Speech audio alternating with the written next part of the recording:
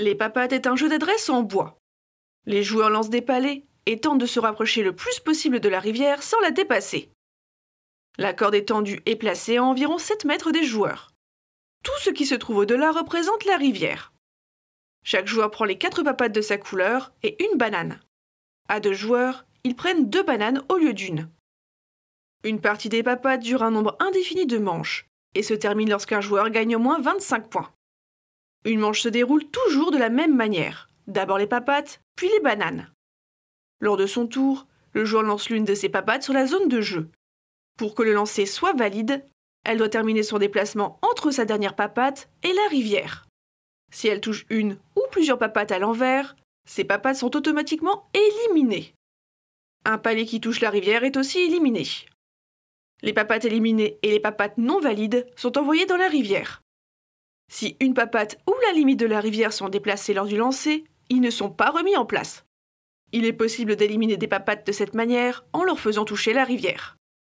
Lorsque toutes les papates ont été lancées, c'est au tour des bananes. À tour de rôle, chaque joueur lance son palais.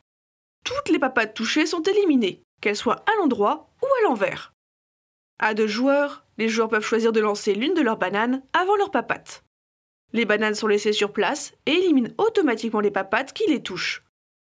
Autre différence, le joueur active de lancer sa papate entre la rivière et la papate la plus proche de la rivière, quelle que soit sa couleur. Une fois les bananes lancées, la manche prend fin et un décompte des points a lieu.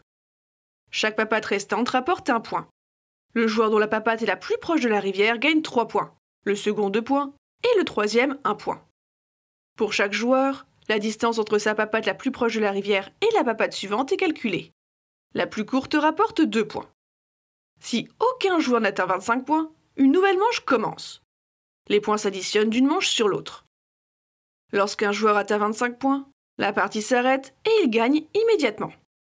Si plusieurs joueurs sont à égalité, ils doivent se départager par un dernier lancer simultané. Le plus proche de la rivière gagne.